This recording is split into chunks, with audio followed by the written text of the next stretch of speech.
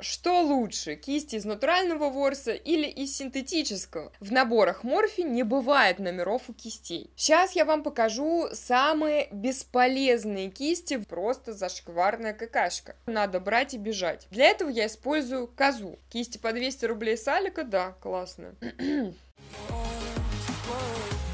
Всем привет! Сегодня будет одно из самых запрашиваемых на моем канале видео про мои кисти. И я решила, что не буду в нем показывать все свои кисти, а покажу только те, которыми пользуюсь чаще всего, или чуть реже, но все-таки пользуюсь, потому что часть кистей я вообще сама не знаю, где у меня есть, а это говорит о том, что они мне нафиг не нужны, и вам тоже. На большинство кистей из этого видео уже есть обзор на моем канале, ссылки все оставлю в описании, но поскольку вы все равно хотите обзор, я расскажу и о них в том числе еще раз. О том, что изменилось спустя годы использования, как они себя ведут, что мне из них до сих пор нравится и так далее. И в данный момент у меня еще есть два новых набора кистей, которыми я пользуюсь примерно месяц, уже все о них поняла, и в этом видео заодно будет обзор еще и на них. Это набор кистей Eco Tools и набор Morphe. В итоге, к концу этого видео я расскажу, какие, на мой субъективный взгляд, кисти нужны каждому, какой минимальный набор кистей вам нужен, чтобы вы были счастливы, если у вас вообще нет ни одной кисточки. И поскольку я не пользуюсь супер дорогими кистями, этот ваш набор получится не таким уж и дорогим. Ну, возможно, он получится и не совсем дешевым, потому что если сразу посчитать, да, сразу купить, например, 10 или даже 5 кистей, то сразу отдать какую-то сумму, возможно, кому-то это будет дорого. Но в принципе я считаю, что кисти, которыми пользуюсь я, достаточно бюджетные и классного качества, по крайней мере меня оно устраивает полностью. Самая дорогая кисть в моей коллекции это кисть Артис, но она отбила уже давным-давно каждую свою копеечку, и я, мне кажется, буду пользоваться ею вечно. Тьфу-тьфу. Надеюсь, по крайней мере. И кисти для глаз, и кисти для лица у меня очень даже бюджетные и классные. Конечно, я не могу их сравнивать с Hakuhodo, потому что, во-первых, не пробовала Hakuhodo. Если у вас есть какие-то супер дорогие кисти, то, возможно, мои вам и не понравятся. Ну и вам, наверное, это видео тоже и не особо надо. Хотя это еще вопрос, потому что с девочками, моими подписчицами, которые имеют кисти, те, которые есть у меня, с Алиэкспресс, например, из козы, и у которых в коллекции есть Hakuhodo и N Beauty, например, довольны кистями с Алиэкспресс, теми же, которые у меня, и даже говорят, что некоторые из них не уступают по качеству этим дорогущим брендам. Начнем с вопроса, что лучше, кисти из натурального ворса или из синтетического? Нельзя, невозможно однозначно сказать, потому что для определенных целей подходят идеально синтетические кисти и не подходят натуральные, и наоборот. Опять же, синтетические кисти бывают разные, и даже с ворсом, приближенным к натуральному. Этот ворс называется таклон, и он реально отличный аналог и заменитель как минимум каких-то хотя бы натуральных кистей. И давайте я как раз начну с кистей из таклона. Это мой новый набор Eco Tools, и он для лица, поэтому сначала я буду рассказывать про кисти для лица. И у меня это набор из трех кистей и спонжа, и подставки под них. Как вы видите, в эту подставку влезли все кисти, которыми я пользуюсь, и даже которыми редко пользуюсь, они стоят у меня на всякий случай. Я к тому, что удобная очень штука. Хочу для начала сказать пару слов о бренде Eco Tools, чтобы вы понимали вообще, что к чему. Мне кажется, это очень важно, и особенно в настоящем настоящее время. EcoTools — это американский бренд, который производит кисти из экологически чистых материалов. Он, конечно же, cruelty-free и старается своим производством не наносить или наносить как можно меньше вреда природе. Каким образом? Ну, во-первых, не вредит животным, это синтетический ворс, который реально очень напоминает натуральный, но об этом я сейчас подробнее расскажу. Во-вторых, используют перерабатываемый алюминий и пластик. Да, вот это вот пластик, но он перерабатываемый. То есть его повторно используют, и он не валяется, не загрязняет природу в данный момент, а стоит у меня и хранит кисти в себе. И алюминий тут вот в кистях используется такой же, перерабатываемый. Набор этот продается в бумажной упаковке, но ни одного дерева при производстве этой бумаги не пострадало.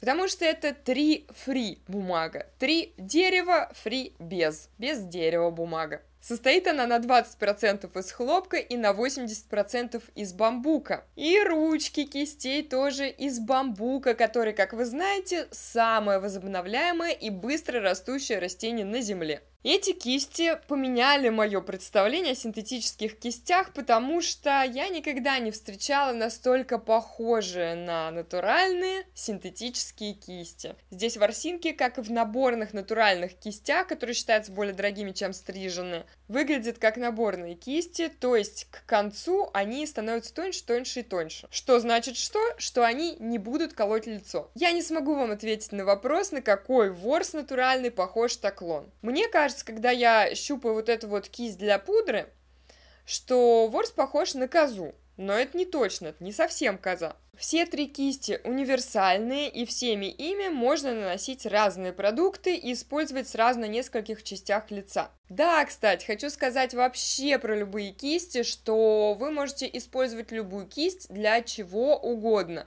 Блин, да даже если вам удобно кистью для пудры наносить тени на глаза, пожалуйста, используйте, потому что нет здесь правил. Кому-то удобно одно, кому-то удобно другое, кому-то удобно такая кисть для пудры, кому-то другая, кому-то удобно на глазах одно, кому-то другое. Главное, чтобы вам нравилось и нравился результат. А уж как вы его добиваетесь, это ваше личное дело. Это я к тому, что я, конечно, буду давать в этом видео советы, точнее, я буду говорить, какой кистью мне что нравится наносить. Но это ни в коем случае не значит, что вам обязательно только этой кистью должно быть тоже удобно наносить именно то же самое. Нет, абсолютно. Мой рассказ будет именно о моих предпочтениях, и я никого не агитирую не заставляю делать то же самое, использовать то же самое, но надеюсь, что, возможно, кому-то мой опыт пригодится. И давайте я начну со спонжа из этого набора.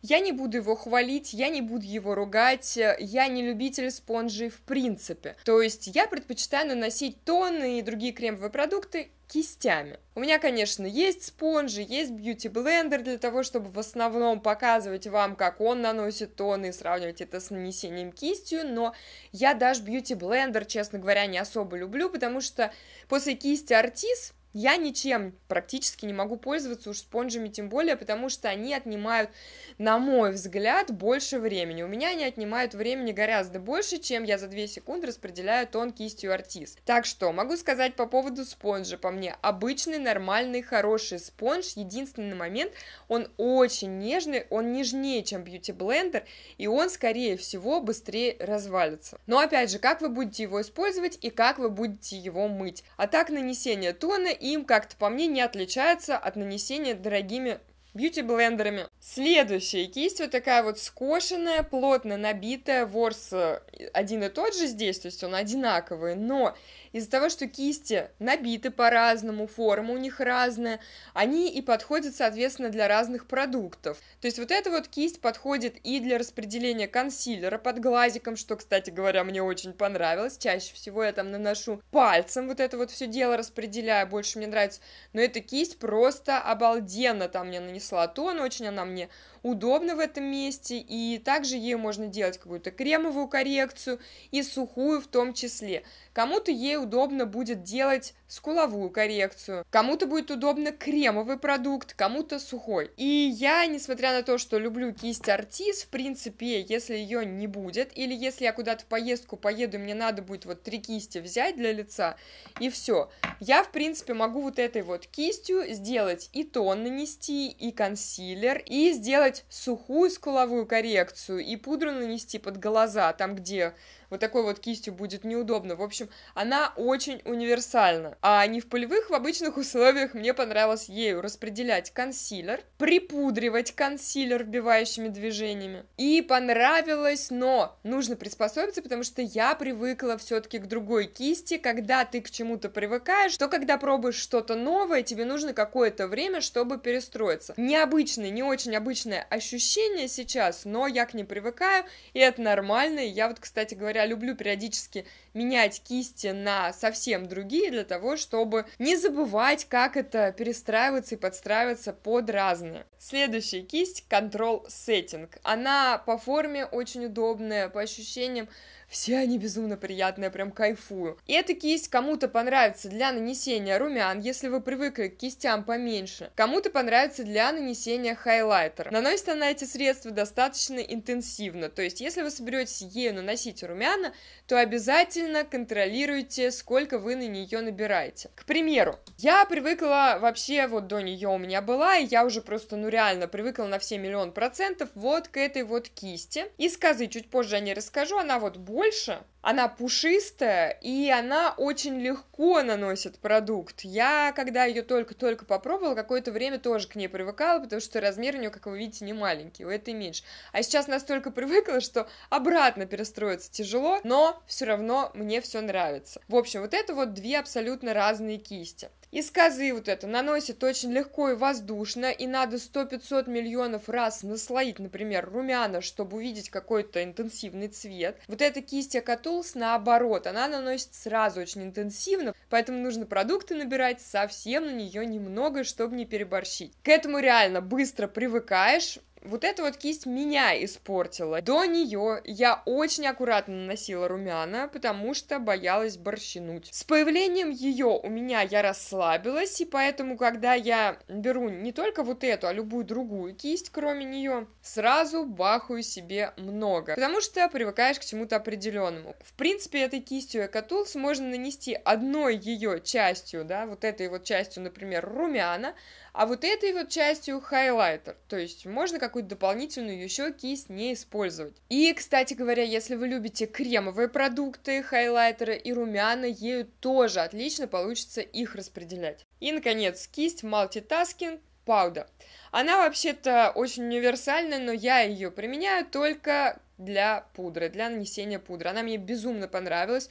У нее именно тот размер, который мне нужен. Ни больше, ни меньше. Пудру я в последнее время наношу не на все лицо, а в основном вот на Т-зону, и меня эта кисть полностью устраивает. Но, поскольку она не мега огромная, кому-то ею будет удобно делать и скуловую коррекцию, и опять же наносить румяна, кто к чему привык. Вот, посмотрите, если ее сравнить с вот этой, я, в принципе, тоже могу ею наносить румяна, просто я ее приспособила для пудры. И при желании, конечно, ею можно нанести и хайлайтер. Никогда раньше мне не нравились кисти синтетические для нанесения пудровых продуктов на лицо, особенно нанесение пудры, потому что они, во-первых, грубые, во-вторых, они колятся, а в-третьих, ну, они больше подходят для кремовых продуктов, я имею в виду не стаклоны кисти, как вот эти, а вообще из обычной синтетики. Но, повторюсь, эти кисти совсем не похожи на синтетические. И я очень рада, что их попробовала. Мне безумно интересно попробовать из Теклона же вот Экотулс кисти для глаз и сравнить их с кистями, например,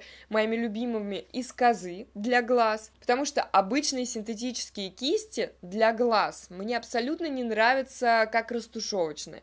Они не могут растушевать так же классно тени, как кисти из козы. Но подозреваю, что с кистями стаклона может быть все совсем по-другому, и, возможно, они классно заменят, опять же, те же кисти из козы, тогда я буду просто счастлива, потому что мне будет приятно осознавать, что хотя бы небольшой вклад вношу в то, чтобы нашей планете меньше вредить. В плане бьюти-блогерства это вообще, конечно, спорный вопрос, понятное дело, но хочется хотя бы вот на грамулечку меньше засорять и вредить. Вы спросите меня, какой же кистью для пудры я пользовалась до этой? А вот такой.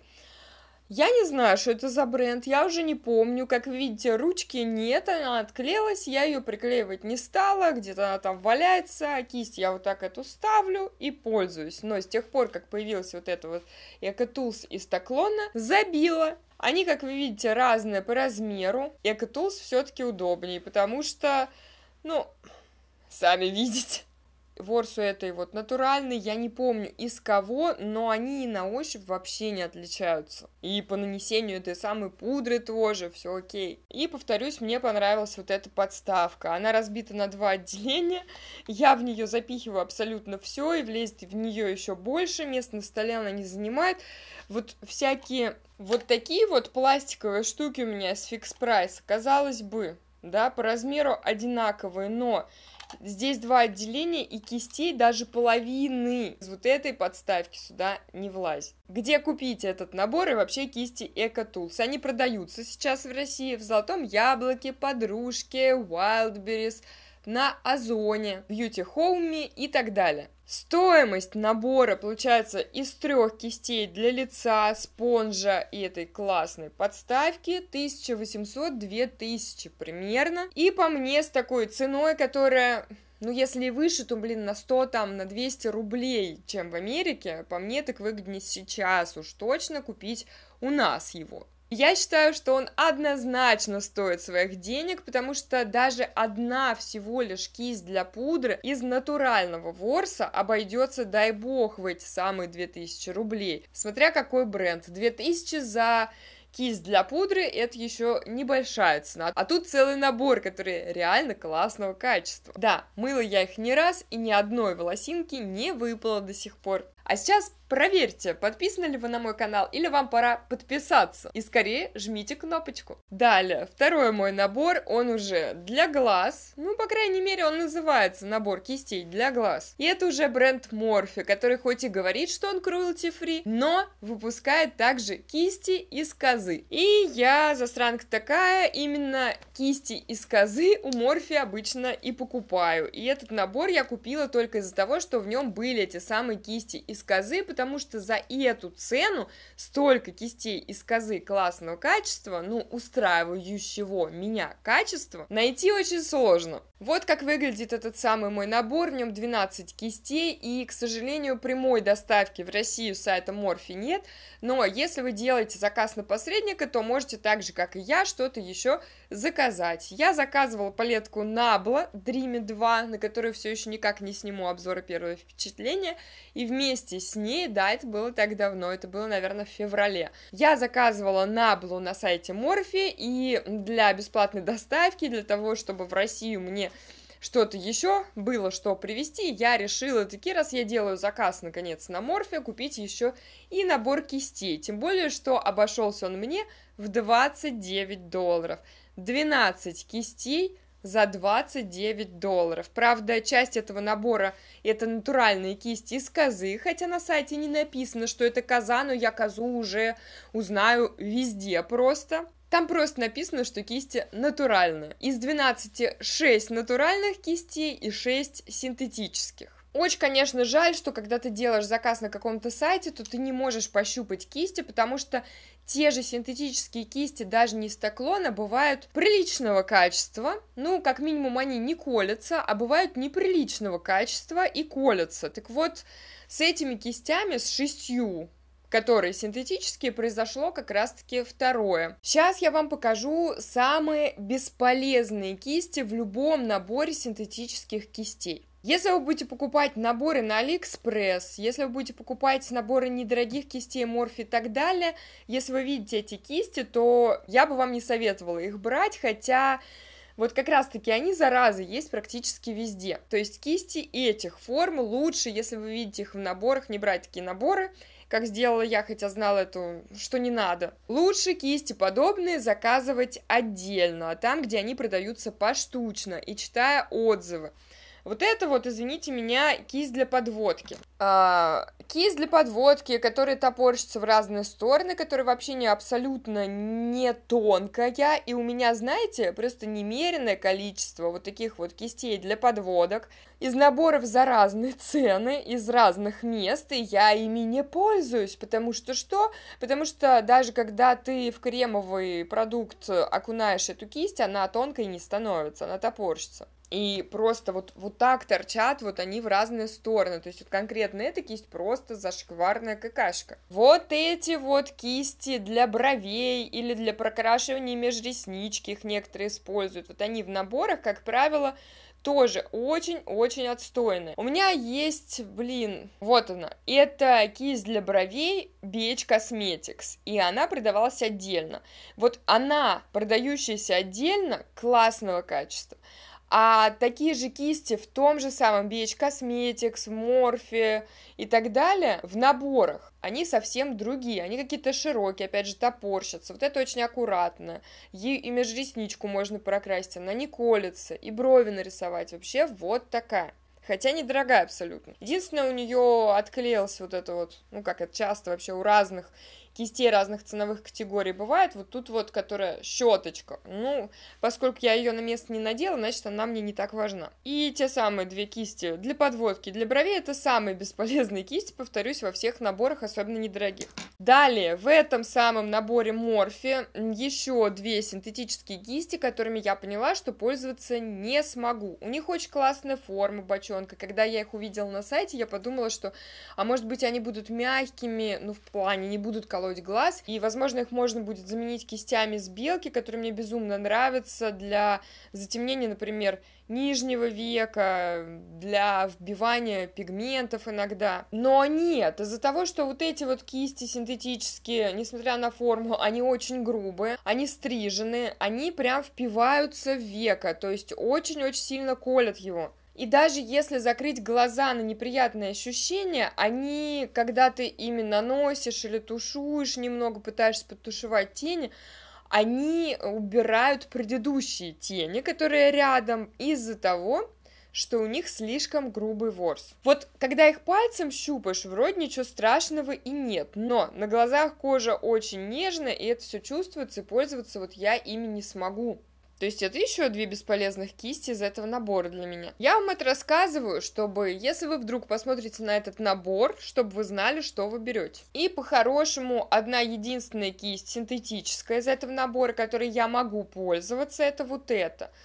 Простите, но номера вам сказать не могу, потому что еще один большущий минус Морфи заключается в том, что в наборах Морфи не нумерованные кисти. Если даже в их основной коллекции единичные вот эти вот кисти, которые поштучно продаются, если они такие же, как в этом наборе, то я без понятия, какие у них номера, потому что в наборах Морфи не бывает номеров у кистей. Поэтому, когда меня просят в моих видео с макияжами, а что вот это за кисть, напиши там, скажи, что это за кисть, а давай ты будешь будешь писать или называть, что это за кисти, а, я не могу даже каждый раз э, о каждой кисти повторять и говорить, что у нее нет номера, потому что она из набора Морфи, а у Морфи в наборах не ставятся номера на кистях. Поэтому частенько я не могу не говорить, не писать номера кистей, которыми я пользуюсь. Поэтому в этом видео я вам просто расскажу о качестве тех кистей Морфи, которые мне нравятся, о том ворсе, который мне у них нравится. Так вот, единственная синтетическая кисть, которой я могу пользоваться,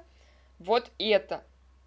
Но для эм, подвижного века, для нанесения теней на подвижное веко или каких-то там еще кремовых теней, она для меня очень широкая. То есть я такого размера кистями могу пользоваться для нанесения, например, пудры под глазами или для какого-то точечного нанесения опять же, кремовых продуктов на лицо, так что для меня она особо бесполезна в этом наборе опять. А теперь переходим к моему любимому, из-за чего я купила второй набор Морфи. Это 6 кистей из козы. Они очень мягкие, они очень приятные. Они не все удобные мне формы, но опять же, как я уже говорила, к этому нужно привыкнуть. Я привыкла к одному набору Морфи, там немного, ну там поменьше кисти размером. Теперь буду привыкать и к этому в том числе. Не колятся, кисти сборные. Об этом нигде, по-моему, не написано, я, по крайней мере, не видела, но я это вижу, потому что тонким становится очень тонким на конце, волосок. Они также классно наносят и растушевывают тени, как и кисти из козы из старого моего набора Морфи, на который есть отдельный обзор. Единственное, я бы, конечно, хотела, чтобы растушевочные вот эти вот наносительно-растушевочные кисти были меньше. Вот эта кисть, так вообще она не подходит для глаз, как вы видите она для хайлайтера, что и указано в описании там. Ну, можно хайлайтер ей нанести, это неплохо. Если вдруг соберетесь, несмотря на все минусы, покупать, например, этот набор, для хайлайтера она отлично подходит. Для именно нанесения растушевки теней здесь три кисти. И одна из них для меня, для моих целей, для моих привычек прям оптимального размера, а две других все-таки большеваты. То есть, например, темными тенями затемнить э, уголок, я ими не могу, потому что они будут фигачить на очень большое расстояние это все. Безумно удобные, я очень рада, что они есть в этом наборе, вот эти вот две плоские кисти, опять же, из козы разного размера. Обычно я такое применяю либо для нанесения теней на нижнего века и растушевки, либо для подтушевки по краю теней на нижнем веке. Отлично они для этого подходят. Иногда даже межресничку могу затемнить, если нет чистых кистей, там, синтетических, например. В общем, они классные короче, с 12 кистей по удобству, по тому, к чему я привыкла, по тому, что мне нравится, чем я могу пользоваться, не переучиваясь, не привыкая. Мне понравилось целых три кисти. Но к вот этим двум тоже реально приспособиться, я ими пользуюсь пока в процессе привыкания. А вот эта кисть пока что у меня без дела, потому что у меня есть любимая кисть для хайлайтера, опять же, с набора Morphe, но другого. Получается, что за 29 долларов я купила 6 кистей. Ну и, в принципе, по-хорошему, каждая кисть выходит 5 долларов. И это все-таки дороговатая цена, на мой взгляд, для кистей из козы, потому что на Алиэкспресс, например, я покупаю кисти из козы, которые мне нравятся по всем параметрам, за одну штуку 200 с хвостиком рублей, раньше они стоили еще дешевле. Короче, мой предыдущий набор Морфия, там кисти были для глаз и для лица, и все они были из козы, были самым оптимальным набором кистей, и это мой любимый набор кистей Морфия, благодаря ему мне понравились кисти Морфия, и я сделала сделала вот эту вот покупку, и могу вам сказать, если вы соберетесь покупать кисти Морфи, я вам рекомендую смотреть именно на наборы из козы. Если в описании не указано, кто это, коза или не коза, как правило, если это вот такой белый ворс, это коза. Можете брать и не бояться, что это будет коза, но внимательно обязательно читайте описание, что за кисти там. Иногда там пишут сколько миллиметров какие кисти, иногда не пишут. Чтобы потом неприятно не удивляться, читайте все внимательно.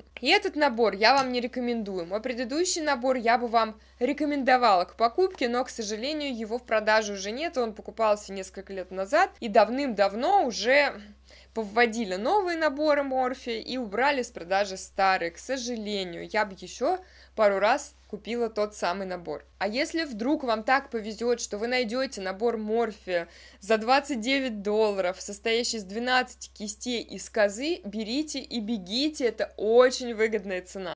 Пара слов о том самом старом наборе Морфе. Uh, у меня в данный момент под рукой вот лежат, осталось всего 5 кистей, две из них для лица. На самом деле это потому, что часть кистей для глаз у меня расклеилась и лежат отдельно ручки от них и отдельно наконечники, просто надо взять их приклеить. Такое случается иногда даже с самыми дорогими кистями, и это ничего страшного. Вот у них еще ручки обдираются, опять же такое бывает и с дорогущими кистями спустя время. По-разному угадать невозможно. У меня, например, есть кисть Людовик, одна из них очень древняя, ей 10 лет в обед, и с ней все окей, а более новые кисти Людовик у меня с ободранными ручками. Ну вот так вот, такое качество. И вот из этого набора, из которого у меня часть кистей расклеилась и где-то лежит, я бы пользовалась всем, если бы оно все было в целом виде. За это время, по-моему, набор этот у меня три года, мне очень понравилось для затемнения зоны под скулой.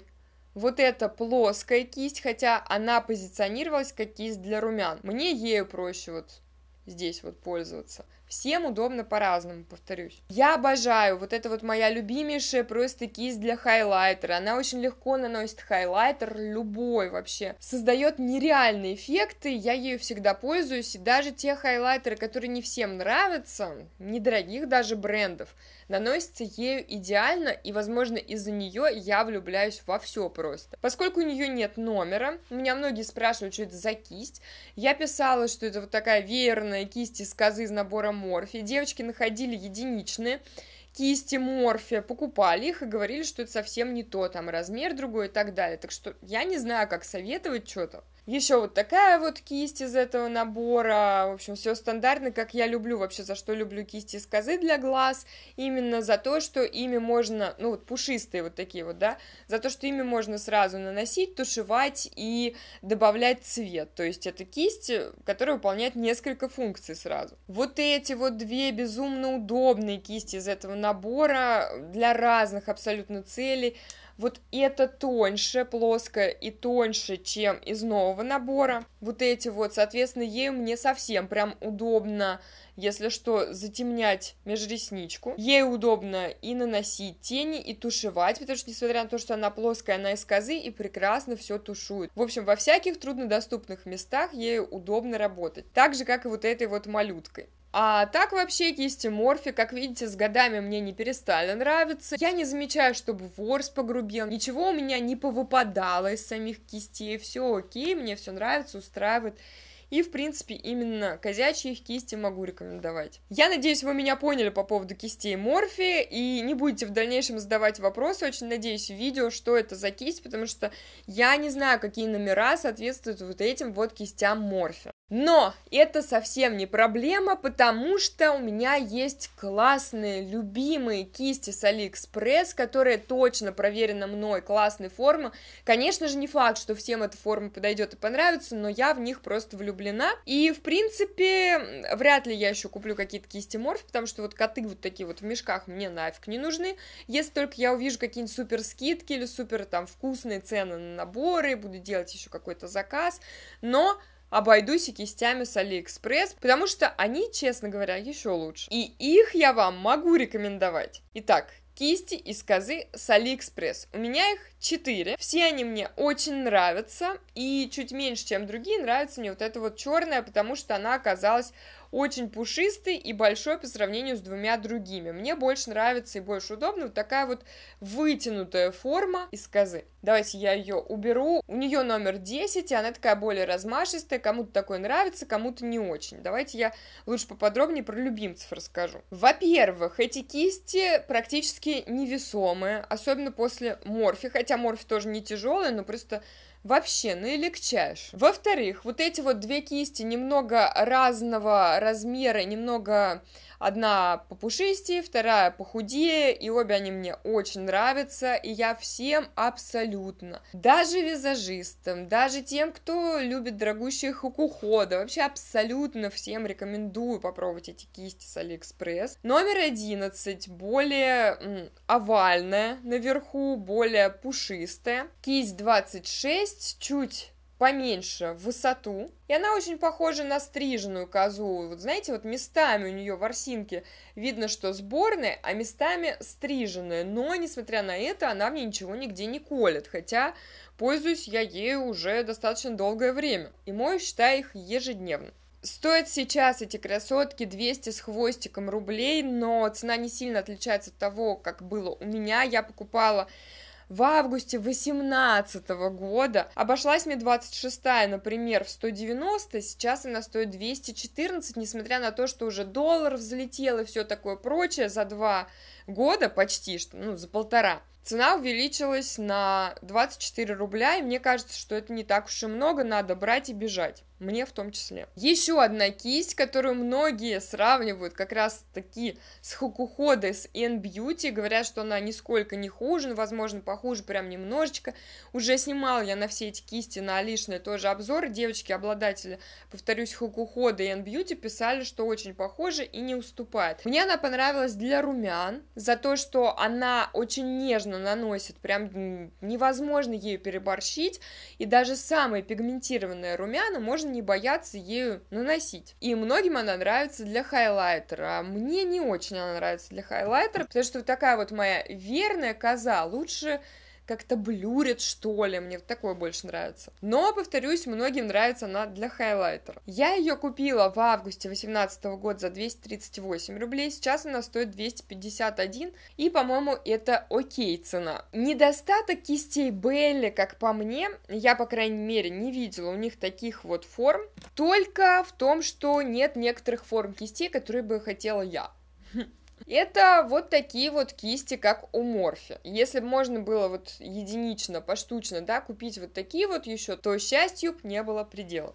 Кисти Людовик. На них есть обзор или даже несколько, я уже не помню, потому что кисти покупались эти в разное время. Вот все, которые у меня есть. И я вам скажу, что нравятся мне сейчас э, не все они. Насколько я помню, обзор я делала, когда купила новую порцию этих самых кистей, и за эти годы поняла, что некоторые мне неудобны, и вообще зря я их купила, а в данный момент они стоят еще дороже. Начну я с кистей, которые я вам всем однозначно рекомендую, поскольку они мне самой очень нравятся, и пользуюсь постоянно. И это, во-первых, две кисти, о которых у меня все постоянно спрашивают в видео со сводчами, видео, где я наношу ими тени на подвижку, это кисти сестры, можно сказать. Они одинаковой формы, из одного материала и отличаются совсем немножечко тем, что одна поуже, а вторая чуть пошире. И ввысь точно так же, там на полмиллиметра. Это кисть 19S и 22S. В Людовике обозначение вот этих вот S значит, что она из соболя. Две кисти из соболя. Они похожи чем-то на плоские кисти из синтетики. У того же Людовика Людовик, кстати, я вас обманула, у меня где-то еще есть одна кисть Людовик из синтетики, вот похожей формы, но куда-то она затерялась, по-моему, она развалилась. Хорошая новость в том, что я могу вам их рекомендовать. Они потрясающего качества, не выпадают, все окей. Я их мою каждый день, я ими делаю сводчи на руке, на глазах постоянно применяю. Наношу ими как пигменты, например, которые нужно вбивать на века. И они это делают чуть лучше, чем некоторые синтетические кисти. Так я ими наношу и кремовые тени, например. И для этого они тоже потрясающе подходят. Минус в том, что я не знаю почему, но Людовик, э, судя по тому, что я сегодня увидела на сайте, когда готовилась к видео, в данный момент под этими номерами выпускает кисть абсолютно другой формы. И это просто безобразие, потому что как вам рекомендовать чего, я не знаю, под какими номерами сейчас вот они. Обе кисти были вот такими вот плоскими, а в данный момент они язычковые. Может быть, название поменялось, может быть, они сфотканы в склеенном виде, поэтому они язычковые, но то, что я увидела на сайте, это совсем другие кисти, совсем другой формы. Стоили они тогда. Кисть 22S 400 рублей, но покупал я ее за 320. В 2017 году это было. Во время скидок. В данный момент она только другой формы стоит 600 рублей. Если кто-то вот эту классификацию понимает, и почему там вот она язычковая, а у меня она, я просто не помню, как она у меня называлась язычковая, не язычковая, но форма была на сайте другая, это точно. Кисть 19S язычковая в данный момент стоила тогда 450 рублей без скидок, я ее покупала. В шестнадцатом году, кстати говоря. И в данный момент она стоит 630 рублей. Еще одна кисть из этой оперы. Подозреваю, что все-таки на сайте они сфотканы в склеенном виде, поэтому они такие острые. Но на сайте она написана язычковая. Вот такой вот форма она на самом деле. Это кисть 13S, тоже из Соболя. Не знаю, почему не поняла в миллиметрах. Посмотрите, я думала, она будет чуть больше, чем эти, но она просто громадная, и я ее применять на веках не могу. Я ею в основном припудривала до появления Эко Tools у меня припудривала зону под глазами. И все. Стоила она тогда 650 рублей, в данный момент она стоит 900. Ее я не могу рекомендовать, по мне оказалась абсолютно бесполезная кисть. Для вот этих вот целей она слишком большая, а для вот этих целей можно и синтетической попользоваться. Еще у меня есть и Соболь, опять же, кисть 52S, это кисть бочонок. Она очень плотная и ею я не пользуюсь вообще. Она у меня, получается, с 17 года. Купила я ее э, за 520 со скидкой, стоила она 660. В данный момент она стоит 900 рублей. Абсолютно бесполезная штука. Она для слишком плотных продуктов, а из-за формы она мне, ну, как-то, не знаю, ни для чего не подходит. Подойдет классно для кремовых продуктов и для тех, кто любит вот наносить подобными кистями кремовые. И теперь две мои любимые кисти из белки Людовик, тоже одна из них ободранная почему-то, вторая все с ней окей.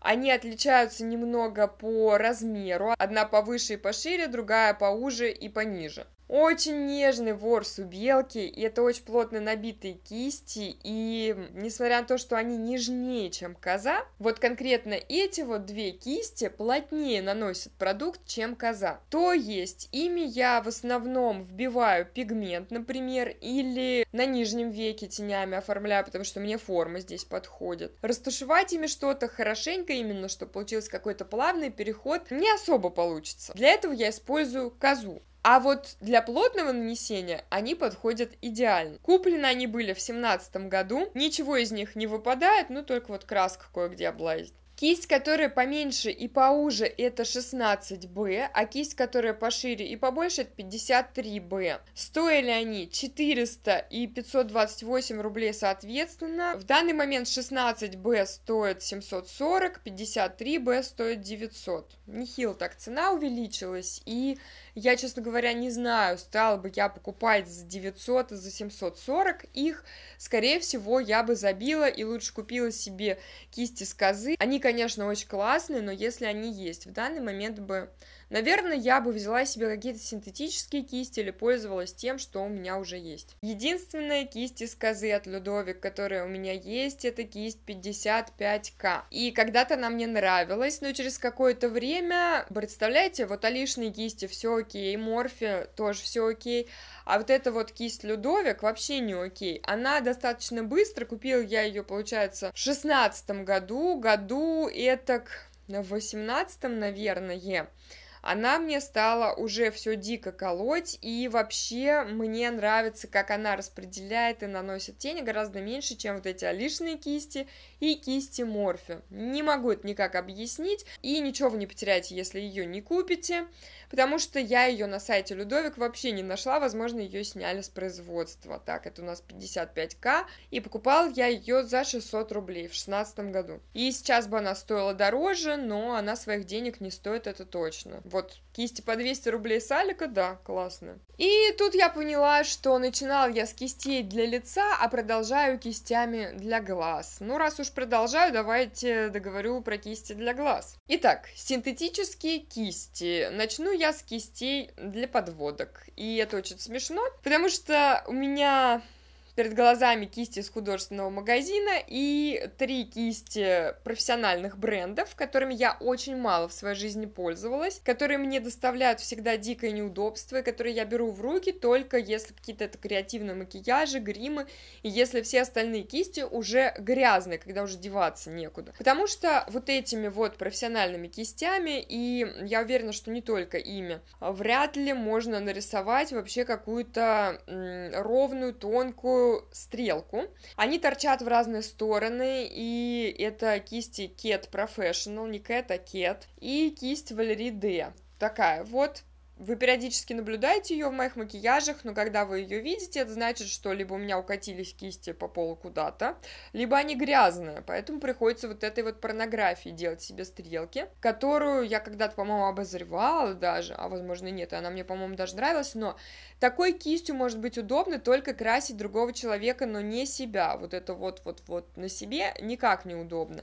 И вот это их топорщенье в разные стороны очень сильно напрягает. Сколько бы я не искала кистей для подводок, это не единственное, которое у меня есть. В профессиональных брендах поняла для себя уже давно, что лучше покупать кисти в художественных магазинах. Вы это, наверное, от всех слышите, потому что, например, визажисты все пользуются этим приемом, потому что кисти для рисования синтетические очень тонкие, абсолютно разные по тонкости, по длине. Их можно найти в художественных магазинах, но для визажистов очень сложно их найти, и стоят они дороже, как правило. Да, вот единственная кисть, которую я использую такие для подводки, но она какая-то даже не для подводки изначально сделана. И это Cat Professional 137 номер. Что я делаю, когда мне нужна кисть для подводки? Я иду в художественный магазин, выбираю там на месте кисти, э, беру их иногда даже много, они, правда, потом у меня теряются, ломаются, потому что они деревянные, самые дешевые. Выбираю недорогие, выбираю самые наитончайшие, и только вы сможете можете себе подобрать, какая именно подойдет, понравится вам, поэтому никакие номера я советовать не буду, какие-то бренды я советовать не буду, просто приходите, живьем смотрите, ковыряетесь,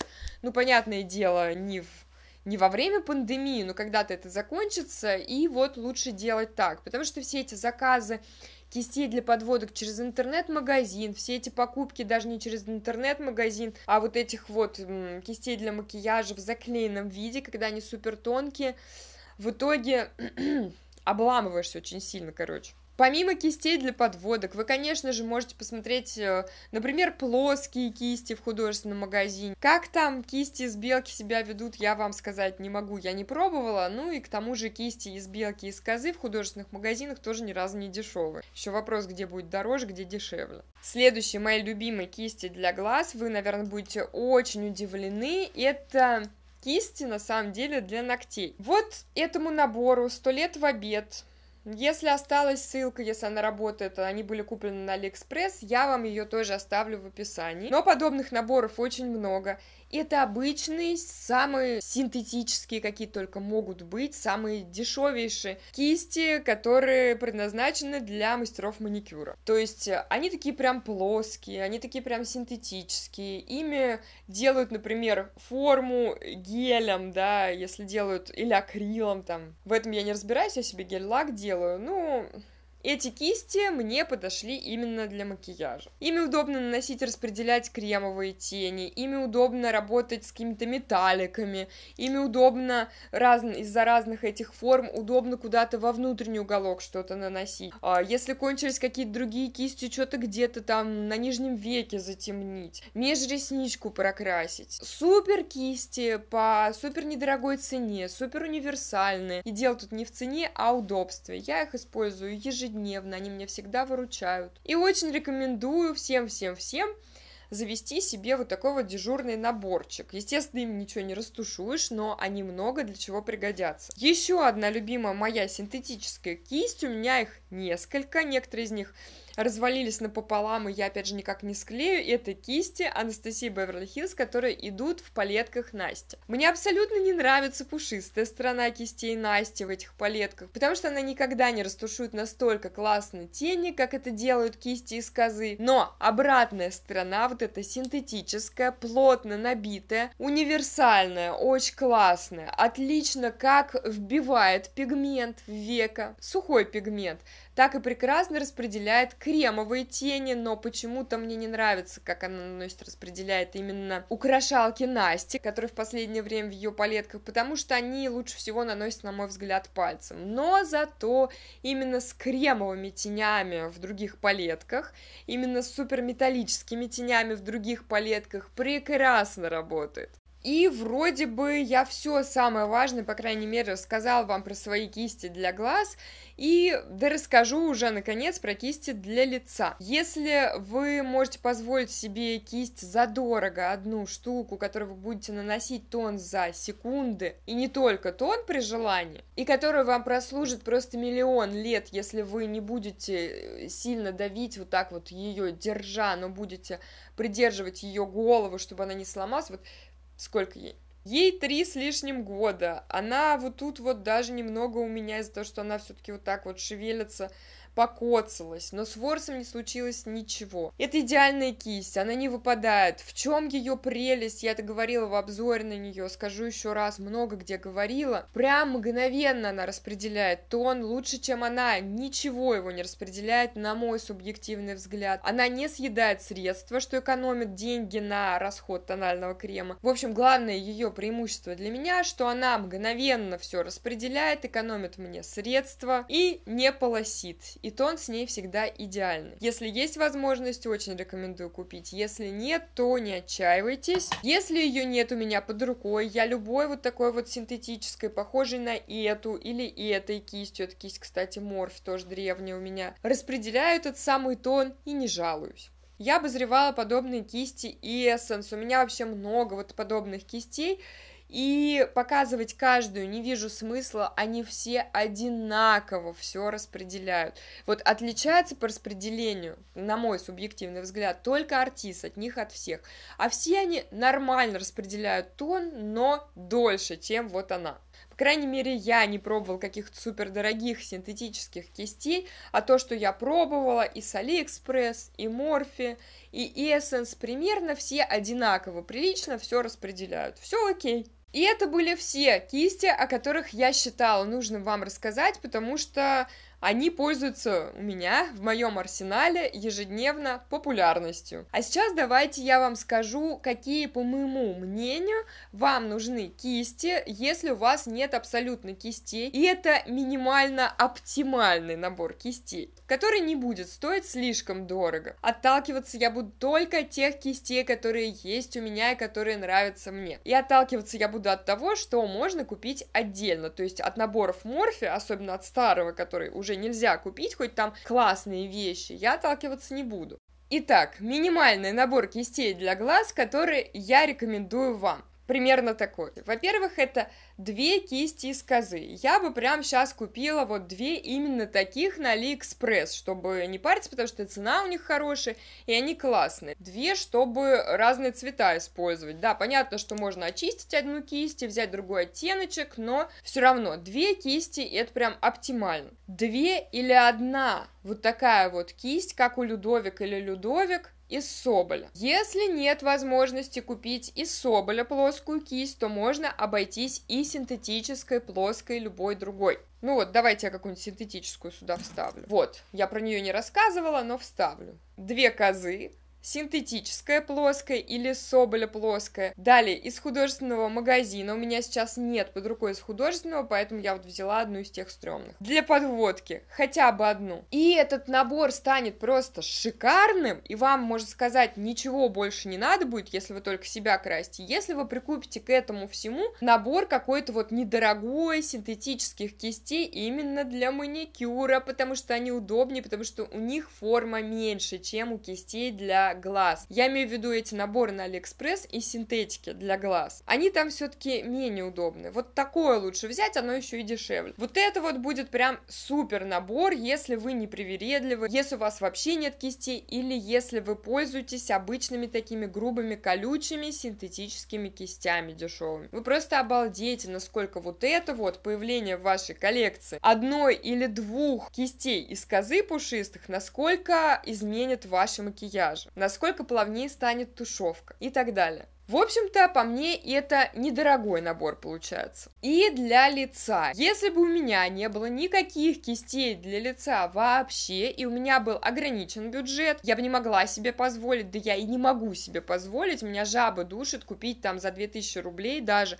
одну кисть э, для пудры. Я бы обязательно сейчас купила вот этот вот набор из трех кистей, потому что, по сути, им можно сделать все. Даже если не хочется пользоваться спонжем и наносить им тон. Можно вот этой плоской кистью прекрасно себе нанести и тон в том числе. Главное было бы желание. Да, это займет больше времени, чем артиз, но и бюджет, извините, у нас с вами ограничен. Если же у вас есть деньги, вы хотите и можете себе позволить кисть артиз, который можно нанести и тон, в принципе, и все остальное, и припудриться даже при желании, то я вам рекомендую приобрести ее. Ну и это минимальный набор кистей, и вот посчитайте, дорого это выходит или все-таки это нормальная цена. Понятно, что расширять этот набор можно до бесконечности, но я вам сказала вот о том, с чем жить уже можно и не париться. Какой оптимальный набор всего этого для меня и уже не отталкиваясь от доступности.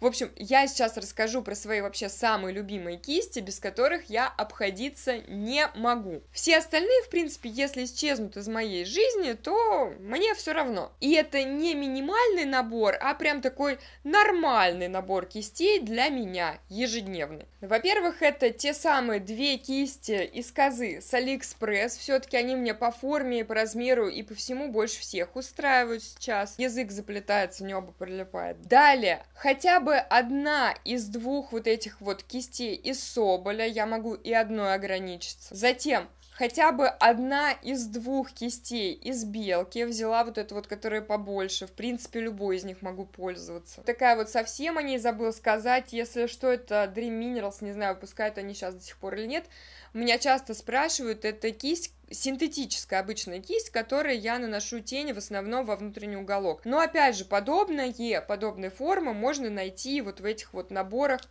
для ногтей. Ну или то, что ее заменит.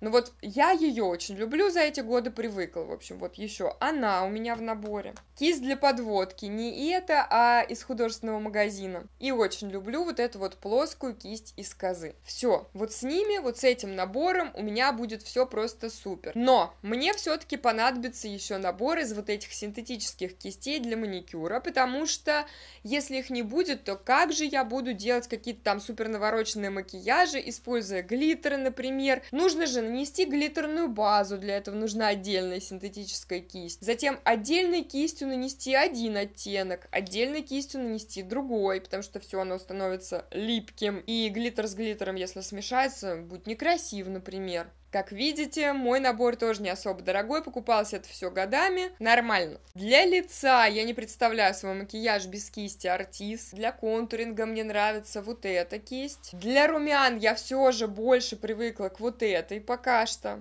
из козы. Для хайлайтера верная кисть. И для пудры я теперь влюблена вот в Eco Tools, ни на что ее менять не хочу. У меня же сейчас мы не экономим, у меня прям оптимальный для жизни набор.